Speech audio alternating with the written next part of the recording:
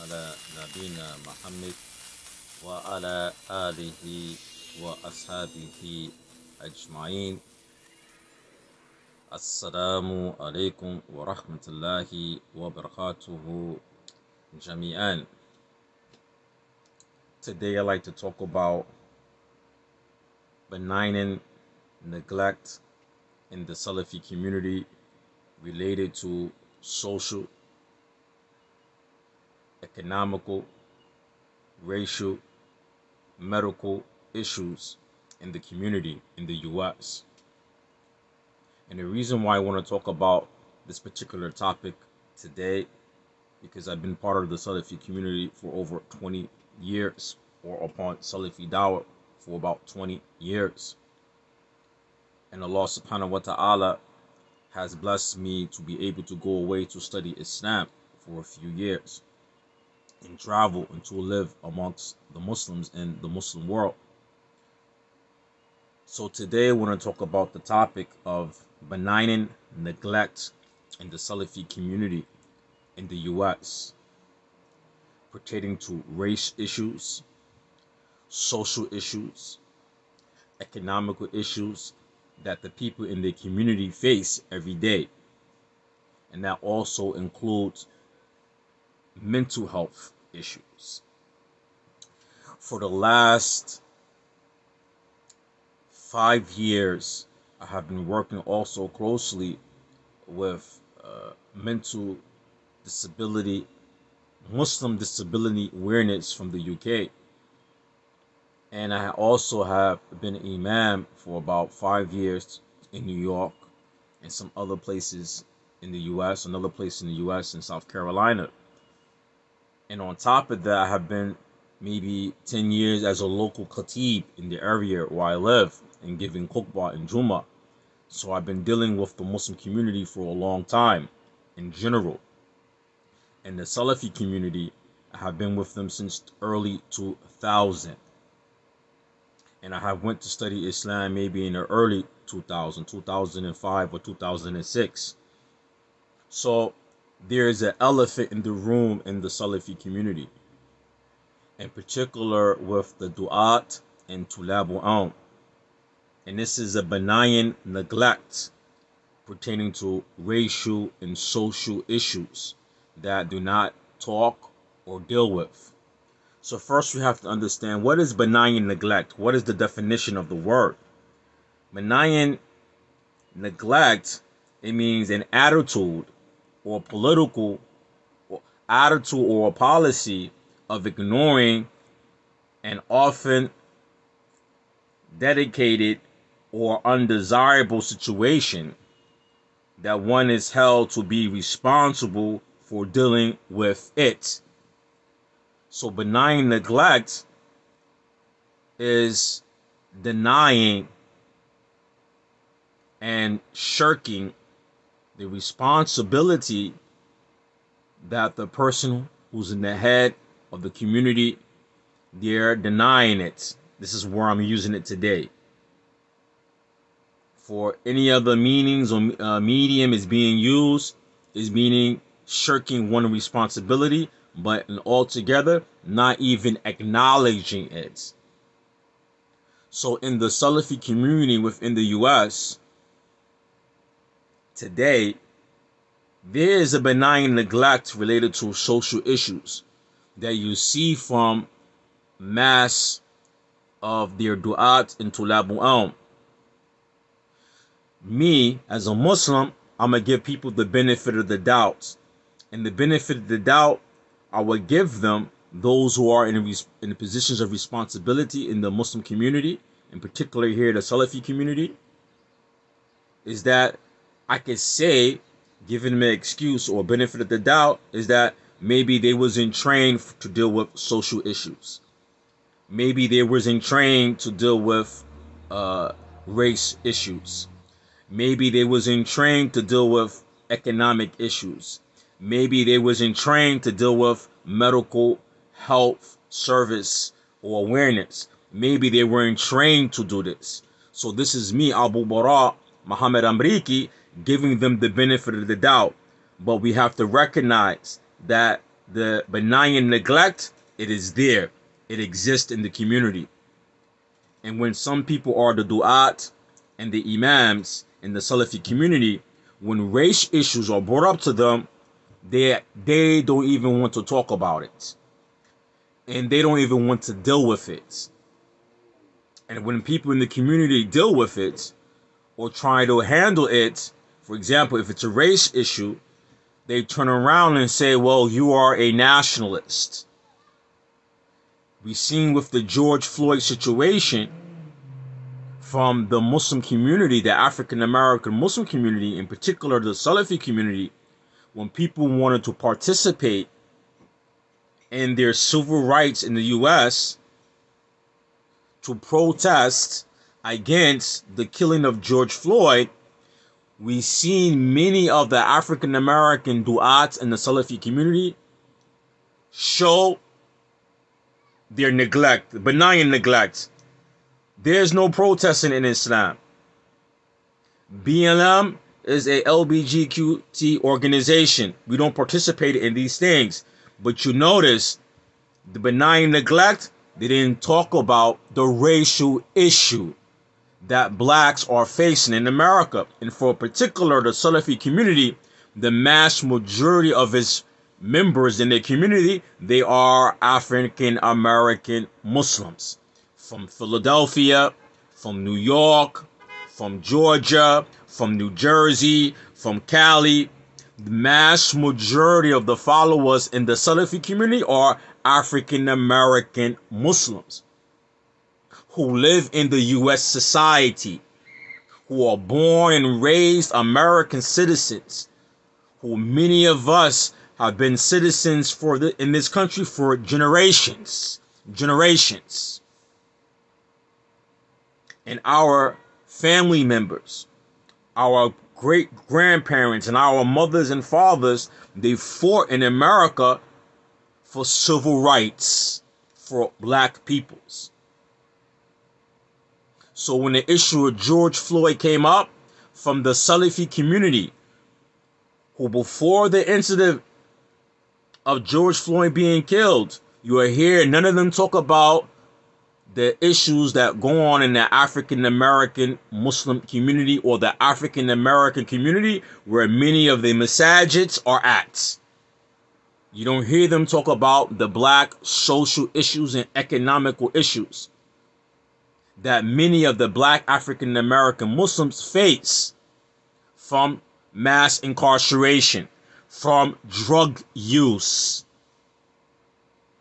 from family problems, from mental health, from economical and social issues that are faced with blacks in their community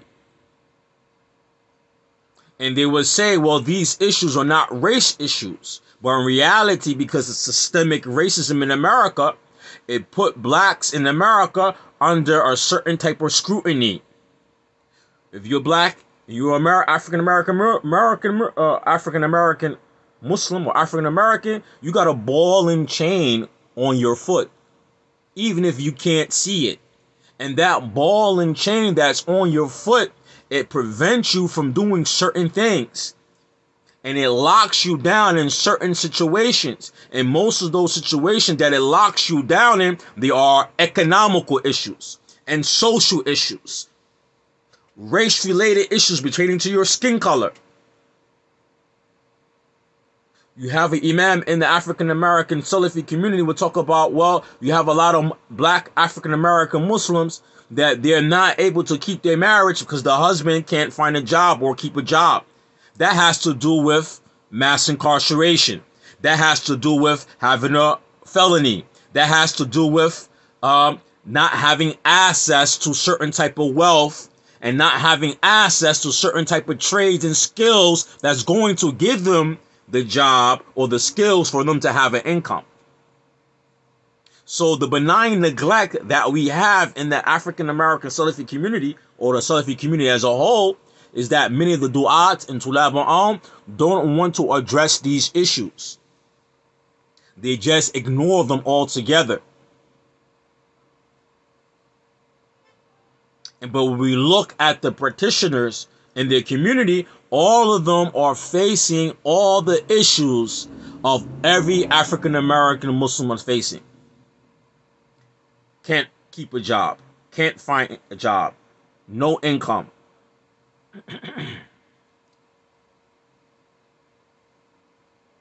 Not uh, academically challenged or no degree. The husband and wife are in the house fighting marital discord because they're fighting over for, um uh, they're fighting over finances, or they're fighting over social ills that either the husband or the wife have. Cheating, lying, deceitful, not being obedient. In a lot of the cases, this has to do a lot with systemic racism and the trauma of slavery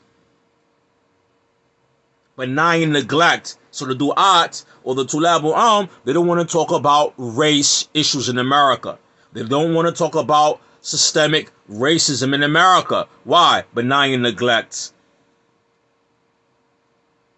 They don't see that race is the issue. So they keep on preaching them. They keep on brows beating them with Quran, brow beating them with hadith, brow beating them with fatwa, browbeating with kalam ulama, the statements of scholars overseas, and then they start noticing none of these things are being effective inside their community. They keep on asking the sheikh overseas the same question over and over and over about divorce and khula benign neglect. They don't want to recognize it's our social issues related to systemic racism is the reason why we in the situation that we are in when it comes to our marriages. So they keep on asking the sheikh the same questions about khula, the same questions about talaq. And the sheikh's wondering why people from America, when I, every time I come and I travel or I talk to you guys, is always the same question about marriage and divorce benign neglect, don't want to recognize that systemic racism Unpack your marriage and your finances and your thinking and your behavior. So they are browbeating the people in the community over and over and over with the same ayat, the same hadith, the same fatwa, the same kalam from the sheikh, and in noticing is not solving the people's problem. Rather, yet the problems are a revolving door. Why? Because people are not addressing the origin of the problem. It's a race issue. It's a it's a social economic issue. It's trauma. It's PTSD. It's all these things.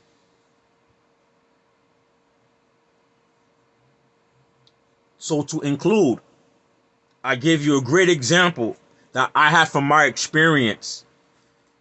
When somebody asks a sheikh, with Sheikh Salim Tawil, Allah from Kuwait, he came to Masjid Ahlul Quran wa Sunnah maybe in 2008 or 2009 or 2009 or 2010 somewhere between that either between 2010 or 2009 to 2012. Sometime he came to Ahlul Quran was Sunnah in Queens, New York, Jamaica, Queens, New York, off of the Van Wyck Expressway.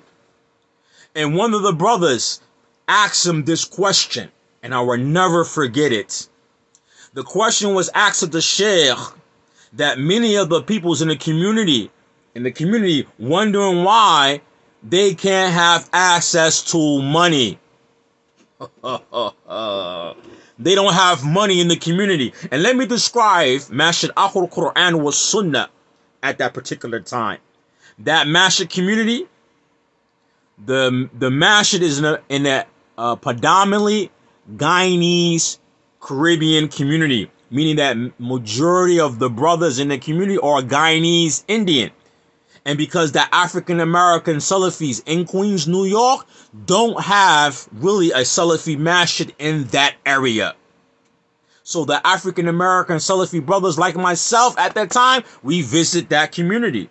So someone asked to shake that question, and I could assume it is an African American Muslim because the Guyanese Indian Muslims they have money and they work together as a race of peoples. So many of them own business, and that's their whole community. And many of them are related, and they are business and they are business partners and their family members. So I know the question came from a black brother who asked the sheikh, a lot of us, we don't have access to money. What can we do about it?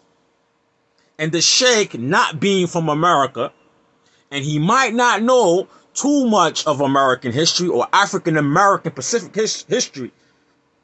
He gave them a good he gave them an answer, but to me it wasn't a good answer. He said that maybe Allah subhanahu wa ta'ala don't give you wealth and money because if you have wealth and money, that it will what misguide you. I wasn't happy with that answer. Because if I go to Kuwait, where the Sheikh is from, many of them have money. Many of them have wealth. Many, and many of them have wealth. And we look at Kuwait, Dubai, Qatar, Saudi Arabia, they have money and wealth, and they may even make treaties with the disbelievers in business transaction so they can have more money and more wealth. But they have Islam. So when that answer was given to him, I wasn't happy with that answer. And many African American Muslims, especially the Salafi community, they accept that answer and run with it. Oh, the reason why Allah doesn't give us black people as Muslims money and wealth because we don't have masjids, especially here in New York area. Our Salafi masjids, I don't see that many African American Salafi masjids that's being successful in New York. So many of us would take that answer and run with it oh, the reason why Allah is not giving us money is because if we have money, we're going to do haram with it or it's going to misguide us. Ah, that is not the correct answer for that situation. And that's not the solution for the African American Muslim. So when it comes to the social issues of the African American Muslim in the Salafi community, their du'at and student, students of knowledge, there's a benign neglect.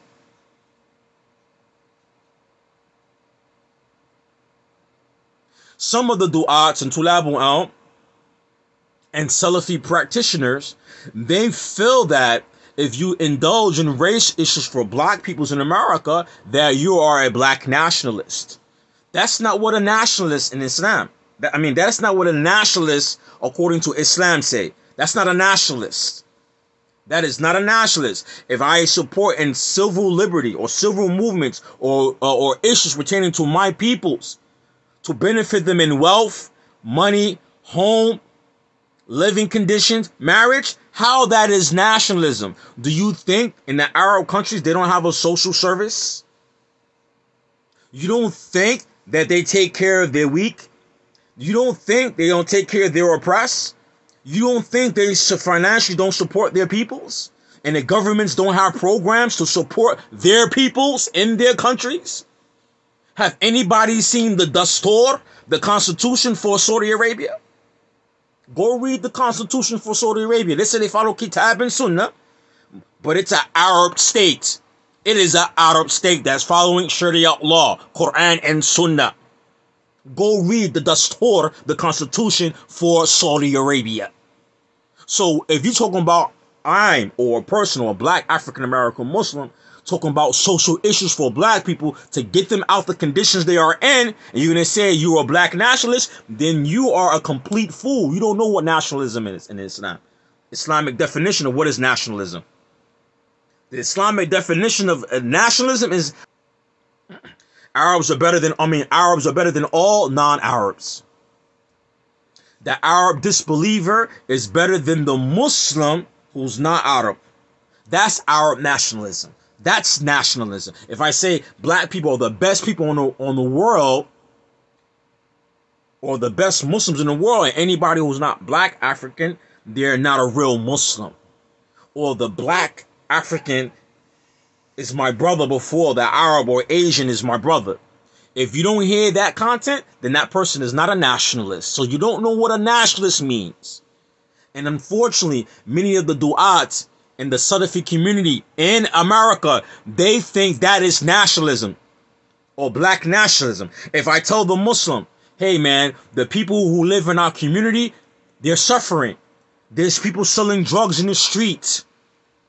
There's shootings and robberies going on. There's drug dealing going on. Let's help the black people in the community, whether they Muslim or not Muslim, so we all could be safe. If I say that, or it said you were black nationalist, but did not the Prophet sallallahu alaihi wasallam fight the Arabs who were disbelievers? And from fighting some of the Arabs who were disbelievers, did they not make treaties with them? What is the Treaty of Hudaybiyah? Did the Prophet wasallam didn't make a treaty with the people of the Mushrikeen from Quraysh? Did the Prophet wasallam didn't make the treaty with the with the Yahud from Yathrib from Medina? Who are Arab, did he not make a treaty with them when he made Hijrah to Medina and said to the Yahud, the Jew, that whoever is the enemy of the Jew is the enemy of the Muslim? Did he not make a treaty with them? Is that Arab nationalism? Is that Arab nationalism? That's Islam.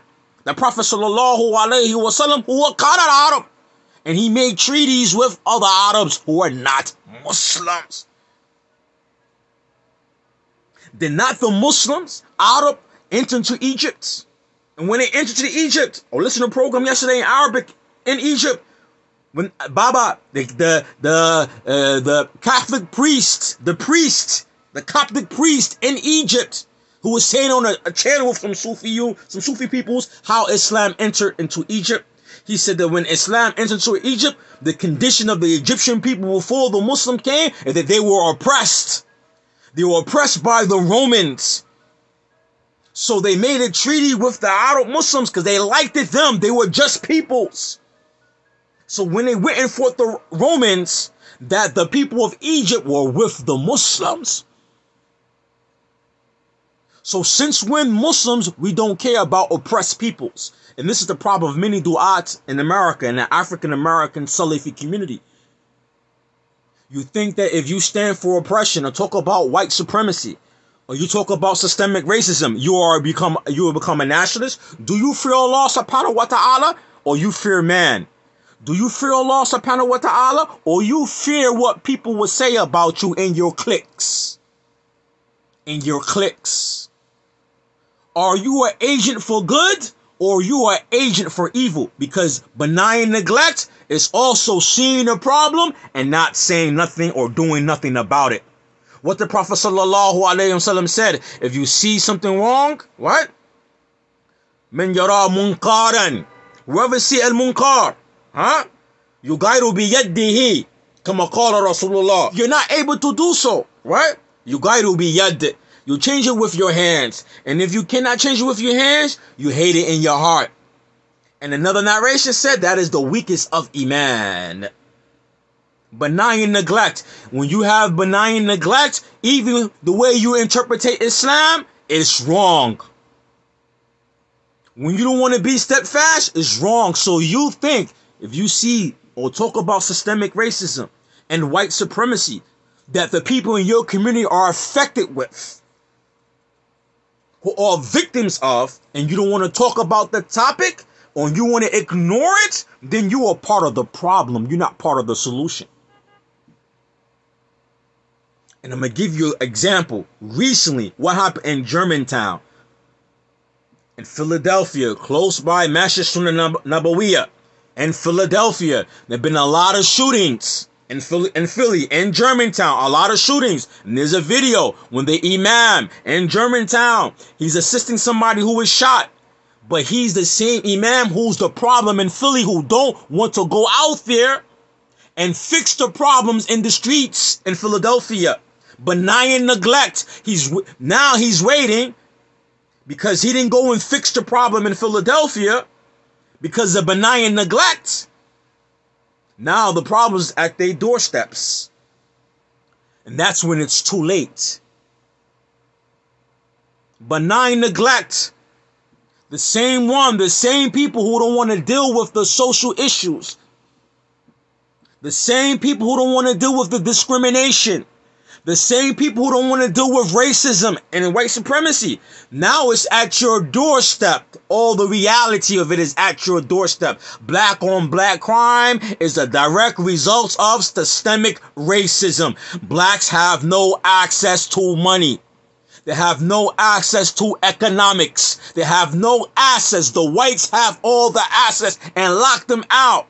So now it's black on black crime because black people are competing with each other for the little dirt finances that they have, even if it's drug money. And that's why you, Hassan Somali, saying in your two hour lecture why some of the Muslims in the Salafi Masjid are hanging out with the drug dealers are hanging out with the peoples in the crime, are hanging out in part of their groups and cliques because you have benign neglect and you don't want to address the social, economical issues of the black community where you live. That's why the brothers in the community are still with the gangsters. That's why the brothers in the community are still selling drugs. That's why the brothers in your community are still out there with those peoples. Why? They're with their people because they don't have no access to real wealth. White man ain't doing that in Philadelphia.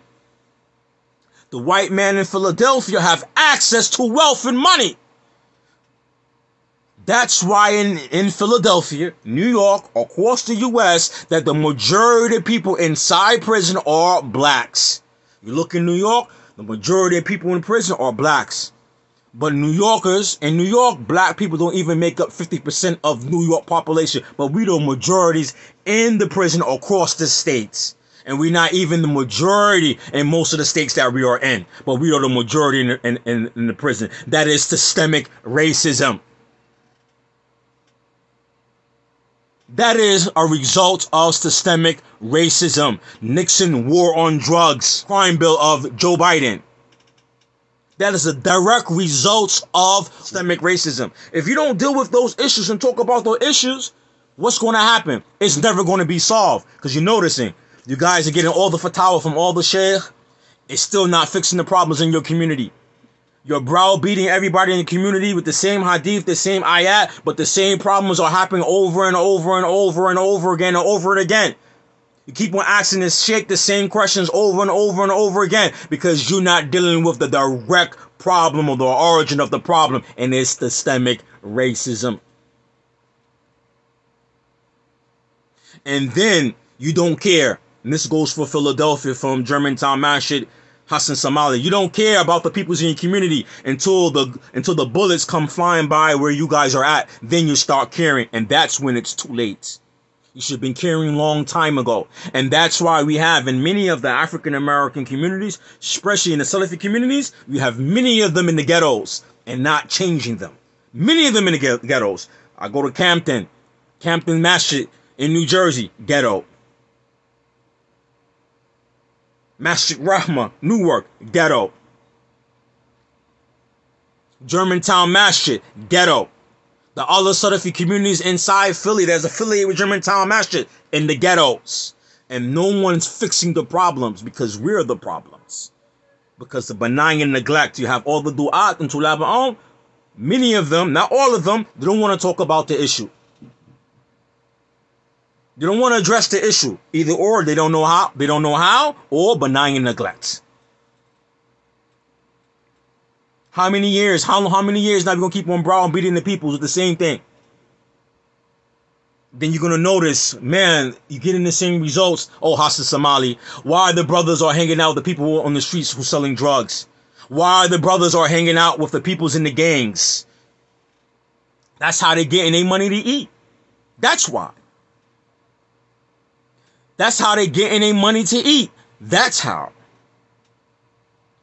Just like um, Hassan Somali from your two hour lecture when you heard the sister say she don't want to bring her daughter or her child to the daycare because the shooting in the street. Now you want to do something because you see your business is being threatened by people don't feel safe walking in the street. Meaning that you originally wasn't caring about the peoples, Muslim or non-Muslim, who live in that community. You don't care about them. You only care now. You want brothers to be security guards and pay for them to get their gun license because you heard a sister is don't want to bring her daughter to your daycare, meaning making money your business. The masjid's business. So now the masjids are the places of making money. So you want to make sure your customers feel safe coming to your masjid with their children so you could get paid. Fear Allah subhanahu wa ta'ala. You don't care about y'all guys don't care about the peoples where y'all live, man. Because the benign neglect. You don't care about the Muslims. You don't care about the black Muslims, African American Muslims, the African Americans who are not Muslim, the people who live around. You don't feel you don't care about them. You just care about your pockets. And many of the African American Muslims are taking this type of uh, uh, way in dealing with issues in the black community. They don't want to acknowledge where the origin of the issues are. Many of them, they're not equipped. Many of the du'ats, they don't, they don't even want to talk about it. And when they talk about it, they talk about it from the wrong point of view. I recently watched a brother who has qualifications Islamically, graduate from Islamic University who live in the inner city or work within the inner city, and some blacks talking about uh, why the husband and wife having financial issues.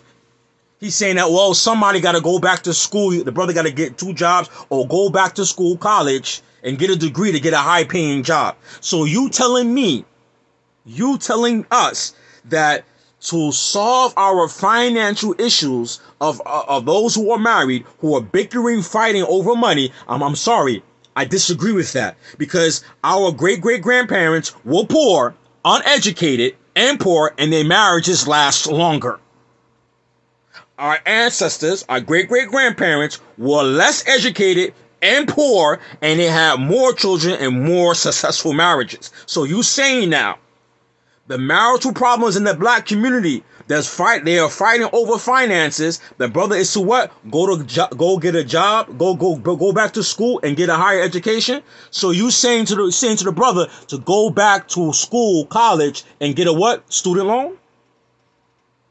Getting more debt to a bank, who mostly owned by whites, and the school is making money off of the loan get more in debt, that's going to solve his marital problems related to finances.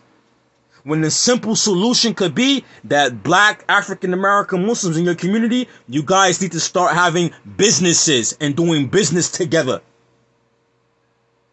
Not going back to school and going back to college to get another degree, an extra degree, another degree to get more in debt and more in student loans. You know how much those college debts cost? $50,000, $60,000. The higher degree, the bigger the debt.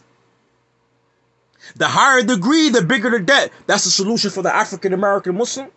Benign neglect. The reason why we have the marital problems related to the finances because blacks been locked out of wealth in America. Black Americans been locked out of wealth. This is the system of systemic racism. They blocked this out for certain type of industries historically. Historically, I'm not saying just happened today. No, it happened before you was born. Most of us before we was born, these things already set in motions. Then, so when you in your masjids and you wondering why these black couples their marriage is not working, why there's no money, why the people are fighting over money, why this sister has five or six kids. That's a no, and that's a whole nother topic right there. Why this sister been married five or six times, have different kids by different fathers. Why are everybody have the same social problems? Why people cannot donate for the masjid? Why the masjids are in the ghettos in the hood? Why the masjids are being rented and not owned because the masjid is not rented. It is owned. Why the masters are not owned? Systemic racism. Stop the browbeating the peoples. If you don't deal with the core issues, then you will never deal with the reality of the situation they're in. And many of you guys were happy, happy when they heard Sheikh Salim Tawil say, well, the answer to the problem is maybe Allah don't give you guys money because if you have money, if you have money, maybe it will misguide you. Then we're going to ask somebody who is not from the US how we deal with our social issues when that person don't probably don't even know our history, even though the question was given to him was general and he gave a general answer.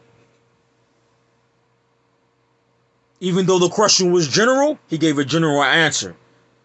But I know for sure them Guyanese was asking that because the Guyanese in that masjid and the people there today, they own all the business and the, the houses and their homes in that area. I know the black brothers asked that question because they don't own nothing. They don't own no masjid. Right here in Queens. In this Ozone Park area in Jamaica, Queens. I already know they don't own no masjid. They can't even get their monies together to get even an Islamic center because of what? That's a whole nother topic itself.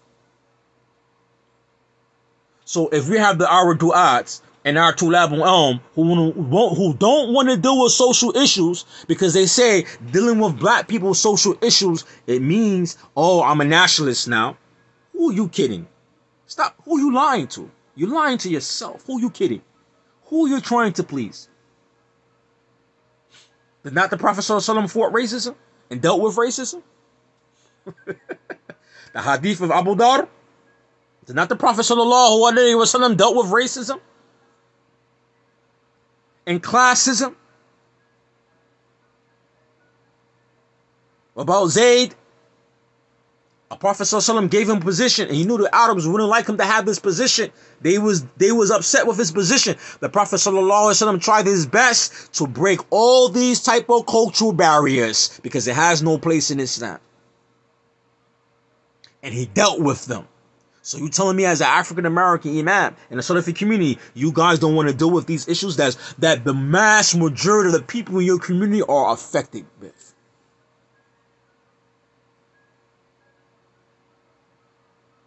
You don't see people in your community coming out of prison. You don't see people in your community got felonies. You don't see the sisters in your community married two or three times with multiple children by different men. And you keep on giving them the same fatwa, the same kalam from the same sheikh over and over and over, and it's and it's not stopping these behaviors in the community because there is something that you're not recognizing where these issues come from psychologically. That's a psychological social behavior. And social behaviors or behaviors that are not warrant warrant or misbehaviors, a lot of them are social issues that cause mental or psychological issues or cognitive issues.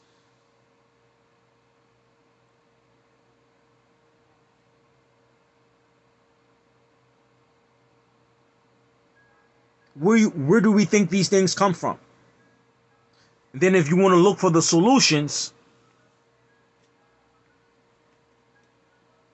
and you're looking in Kitab and Sunnah for the solutions, but you notice the way you guys are applying it is not working.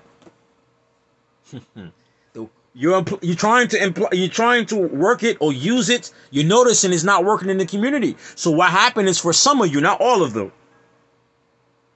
what you start doing, the sick from them, is that what you start doing is instead of bringing the Quranic healing, the Quranic Islamic purification, what you start doing is using cult tactics. Man, this, these people won't get it, man. You keep on telling them, okay, let's try these tactics. If you don't do this, we're going to boycott you. If you don't do that, or you're not listening to us, and you and you and you're not dealing or listening to us, we're gonna do this to you. We're gonna say this about you. That's what's happening in Philadelphia, Germantown Masjid. If you don't do this or do that, we're gonna outcast you. Or we're gonna make you feel a certain way or feel embarrassed. Then you're using these tactics, and you're not using these tactics to get the people to do good you're using these tactics to get the people to blindly follow you to put money in your pocket. That's why Hassan Somali gave that two hour talk in Germantown Masjid after the shooting. And I listened to it very well. All I heard for two hours how to be a, a hardcore cult follower. When, he said it out his mouth. Oh, I heard a sister don't want to bring her kids back to the daycare because of the shooting. Oh, any brother, I don't want to misquote him. Any brother who don't have their gun license, I will pay for you out my pocket for you to get your gun license. I will pay out my pocket for you to get your gun license to what? Be the security at the masjid. Like that, like him being the security at the door gonna prevent bullets from hitting hitting or going inside the masjid. So basically what he was saying was, hey, I'll pay for you guys to get your gun license so you can secure our business, our daycare business, our Islamic business that we make money in this community that you could what? That you could secure it. And he said it out his own mouth. Those who want to have a a, a, a, a, a, group watch or a block watch to clean up the streets. Oh, we not doing this. We not doing this. We not doing this. You heard him. I heard him. Two hours he talked.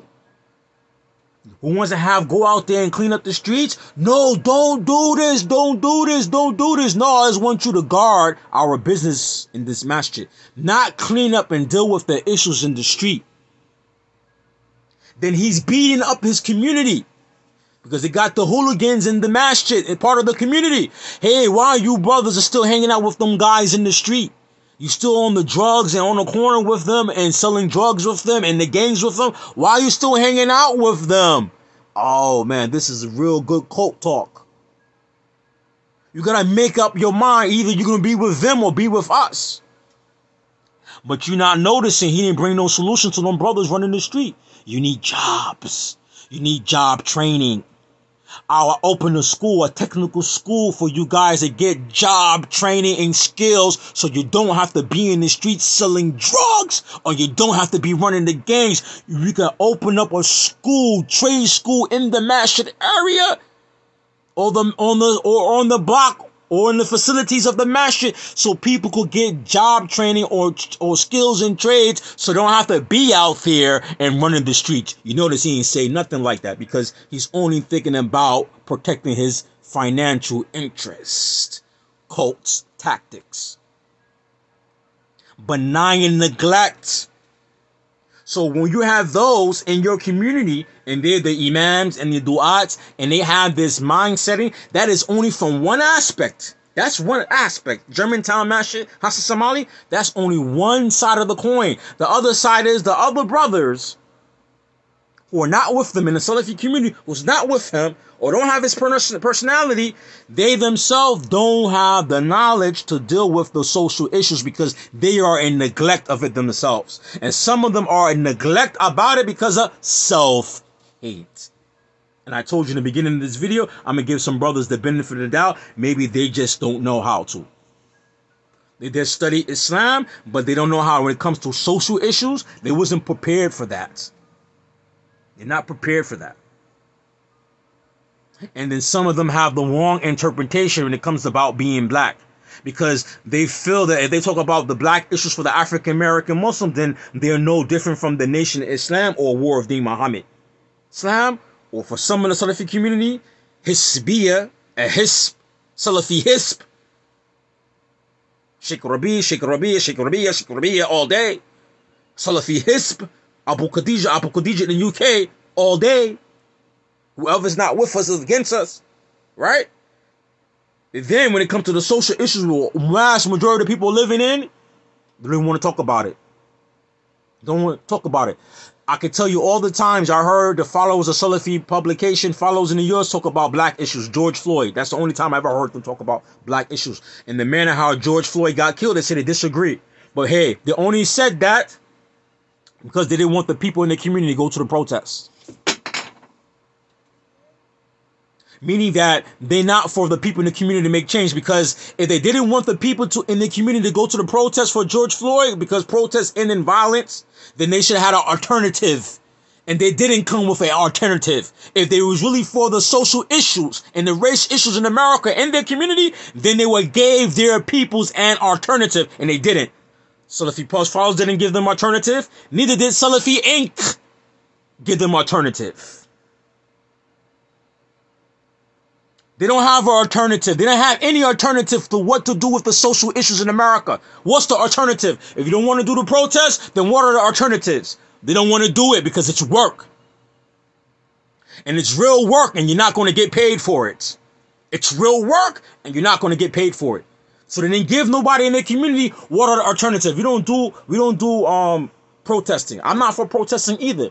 I'm protesting get you nowhere. But they didn't bring to the peoples in the community what is the alternative to deal with systemic racism and police brutality against blacks. What is the alternative solution legally? How to legally in the government in this country to make change legally. These dudes are not for protesting. They're not for any legal change and they're not to make any effort, but they benefiting from the efforts of the, those people who sacrificed and died in the civil rights movement. These Negroes are benefiting from them, but they don't want to participate in an alternative way to get global change inside the US or national change inside of the US that will impact and change the black African American Muslims' life. So they gotta worry about when they go outside, police are gonna shoot them because they black.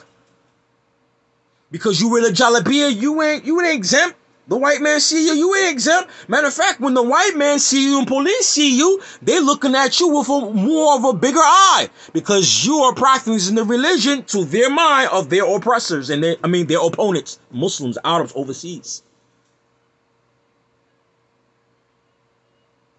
They think you're with Taliban or ISIS or Daesh. They think you're with Al Qaeda. They think that you ready, you gonna be the one who, you know, they think they're not stupid. They think, oh, you gonna be the Muslim Malcolm, you you are Malcolm X 101 or 102 of Malcolm X. Oh man, you might bring some real change. So they're gonna be watching you guys closely. But you guys, they ain't you guys ain't no real no threat. I don't see you guys making any change in the African American Muslim community. You're not making any changes. And then you guys will say, well, we're busy calling people to Allah and teaching people in Islam. You ain't calling nobody to Allah. You're not teaching people in Islam. What you're doing is teaching people's teaching people's fitna, fitna, fitna. Hmm. All you're doing is teaching people fitna, fitna. Sheikh Rabia and Sheikh so and so got beef. Oh, we with this. Oh, Salafi pubs, they're with this. Oh, they don't like this Sheikh. You teaching the people's this. Now you guys got beef with each other in America. So you're not calling people to Allah, you're calling people to personalities and fitna. And if you was really calling people to Allah, and I give you props if you was doing this, if you guys were calling people to Allah and calling people to Islam and calling people to real Salafiyah, which you're not, then where are the shuyuk you produce? Where are hafiz in the Quran? Where are your where are all the students of knowledge that you're producing? You guys have now been in America now since the 80s. And you've been on the Sheikh Rabia tip since what? The early 2000s. Now I want to see from you du'ats all the students of knowledge you guys build. If I go to Saudi Arabia and I go to Jamiat uh, Islamiyah, I'm going to see the students that the university built. If I go to some institution or a group of peoples, I'm gonna look at the students they built. If I go look at Sheikh Mukbil Rahimullah, I'm gonna see Sheikh Mukbil students. Yes or no? And I'm gonna see his students are Tulabul Ilm. If I go to Sheikh Fawzan, I'm gonna see his students are Tulabul Ilm and Ulama. Where are your shuyuk, your Tulabul Ilm in America? Where are your Tulabul Ilm? Where's the fruit of your guys' dawah? Where's the fruit of your dawah? But I'll give you the benefits of doubt. Where's the fruit of your dawah? I'm gonna give you the benefit of the doubt. Where's the fruit of your dawah now in America, in your communities? Where's the fruit of your dawah? Show me a Salafi masjid ran by African American Muslims, got a Quran school, a Hafiz school, and got at least in their masjid five children, five children that they taught to be Hafiz of Quran who didn't have to go overseas for it. I could go down the street from my house to a bunch of Bangladeshis here, hardcore Hanafi followers who got at least 20, 30, 50 students who memorize Quran right here in America in the inside their schools. Show me a Salafi masjid ran by blacks in America, African America, who got at least 10, 10 students that they made hafiz in America and they masjid. There's none. So where's where's the fruits of your dawah if you calling people to Allah? Where's the fruit of your dawah? Benign neglects I'm gonna give you the guys the benefit of the doubt. Benign neglect. See, you don't want to talk about black people's social issues. And if you're gonna use for excuse, well, you're busy calling people to Allah. You've been doing this now for 20 years. Where's the results of your dawah? Where are the the hufad of Quran? Where are the students who have memorized the mutun and have Arabic language? Where are they? Nahat, where are your Arabic grammarians? Where are your muhaddith or muhaddithin? Where are they? Where are your hafiz in Quran? Where are they? I don't see them in the communities. Then, can we really saying you guys are calling to Allah or you calling to fads and trends and personality followers? Benign neglect. Enough is enough. Enough is enough. No one wants to talk about this. But if you turn around and you say, if some of you say, well, we're calling people to Allah, we're calling them, but they're not responding. If one or two of you guys say that, I'm a, I'm with you. I agree with you. If one or two of you guys say yes, but we're calling them, but they're not responding, I'm with you with that. The reason why they're not responding because they are affected by systemic racism that f- affects them psychologically. And you can't fix these peoples, teach these peoples, build these institutions that you're trying to establish where people have psychological dysfunction socially. Psychological dysfunctional socially, meaning that the whole community have this issue. How gonna memorize Quran when I can't pay my rent? I'm worrying about how to pay my rent. How I'm going to memorize Quran. How I'm going to put my kid in a Quran school if I don't have money to pay for the schools.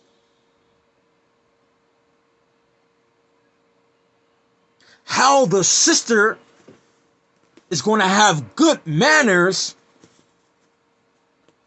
while she's still watching Empire. How the sister is going want to have good manners and she's still watching Housewives. How the sister's going to obey her husband and she's still a feminist.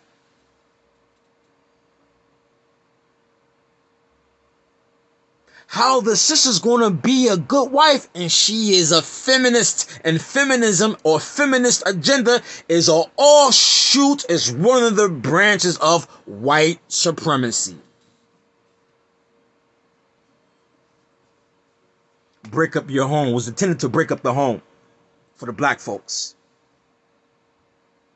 Get the woman highly educated more educated than the man then you're to be an um, imbalance in the house the woman's more educated than man is an imbalance in the house.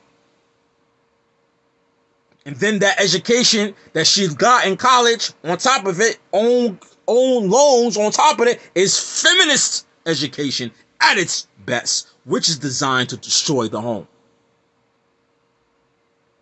So if you're gonna say, well, you've been calling people to Islam and it's not working, and it's not working, I've been trying, and we're giving dawah and we're being patient and this is this is the results of it then you have to recognize that the psychological social issues in the african american community that is linked to systemic racism and trauma from slavery that is the main cause. The main issue and once you deal with that and learn how to deal with that, then you're able to do some changes with them. But understand psychologically, how do a psychologist give therapy to somebody who have cognitive um, problems or cognitive behavior problems?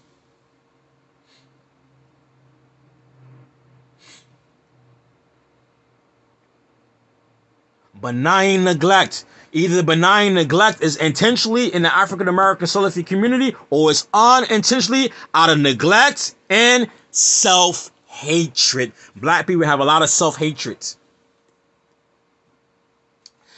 You notice in the African American Muslim community, especially in the Salafi community, I'm gonna show you. You wear jalabiya. This is jalabiya right here, right? You wear jalabiya, right? Why you don't wear the jalabiya from Africa? you know, even though my jalabiya is from Africa, Sudani. Why are you guys wear the Saudi and the Kuwaitis jalabiya? I'm gonna show you how deep the self hatred is for the black African American Muslim Salafi community. It's so deep and it's so deep entrenched in our community. You won't wear the African jalabiya. You ever seen the African style jalabiya? They look very nice. I, I never catch any of the du'ats, African American du'ats wearing it. You're all wearing the Arab salt, the Arab Gulf or Yemeni jalabiya. You notice, you notice that. You gotta ask why. Why you guys don't wear African thobe? Why you guys don't have your own style of Islamic clothing from America? Or jalabiya made in America? Or made from your peoples that represents things that you like in your culture or reflect your culture? Why all the dresses are from Saudi, the Gulf? Someone say, well, we traveling back and forth. No, no, no, no, no, no, no, no, no. no. It's not about because you're traveling back and forth or doing business or studying and you're living there and you adapt that. No, because you think that's a better lifestyle. You think it's better than what you already have. You think it's better than better than being African American clothing or making up your own clothes. Do the Indians wear a lot of jalabia? The Indian Muslims, right? They wear the kameez, and sometimes they wear jalabia, but they known for wearing what kameez. The Africans have their own style of clothing, Muslims own style of clothing, and kameez and jalabia. The African American Muslim Salafi community all have to wear the Arab style clothing. Why is that? Self hate, inferior complex, inferiority complex. They gotta ask why the sister always have to wear black. Who said in the Sharia law that the hijab, khimar, jilbab has to be black? There's nothing wrong with wearing black. Who said in the Sharia law it has to be black? Because you're following Saudi. That's why. You're following the Arabs. That's why. And you can't even come up with your own dress code or your own style of clothing that fits within the Sharia law because you're inferior complex, self hate, you think you're not worthy. So that's why inside the Salafi community, the African American Salafi community, not all of them, that the Duat and Tulaba um do not want to talk about race issue because of what? Self hate. That's why the benign neglect. Some of it is intentionally and unintentionally. The unintentionally because the self hate and you don't know it's there conjunctively. And you don't know it exists. And you might have a bachelor in Islamic not uh, an uh, Islamic knowledge. Might have a bachelor or your master's and you don't know it. We have things called educated fool, which I'm not saying you're a fool. then I would say to those brothers that you recognize, yeah, I do recognize these things. These things exist in the community. How do I solve them? Then you need to start looking at, yo, your history. So I'm telling you especially the black African American Muslims, especially in the Salafi community, I'm telling you, there's a lot of things that you guys are in denial about and don't want to know about, about black African American history and about the U.S. government, about race issues. And you're ignoring them, and they are the root cause of a lot of problems inside your community. And every day you are browbeating them. Why this guy, why they can't get this ayat? This ayat is clear. You're like, what's wrong with this guy? This guy, is he a munafiq? That's what you say about the people in your community. Is the guy a munafiq? I keep repeating the same ayat, telling them the same thing, giving the proof, and it's still not accepting them because the person you're talking to has psychological issues due to systemic racism. So it affects the way he think and affects the way he practice religion. But you in you what? Benign neglect don't want to recognize that. So you're browbeating the people in the community. Man, why does sister keep on getting married? Every time she get married, she's getting divorced. Because that sister might be suffering from psychological issues and have B, BPD.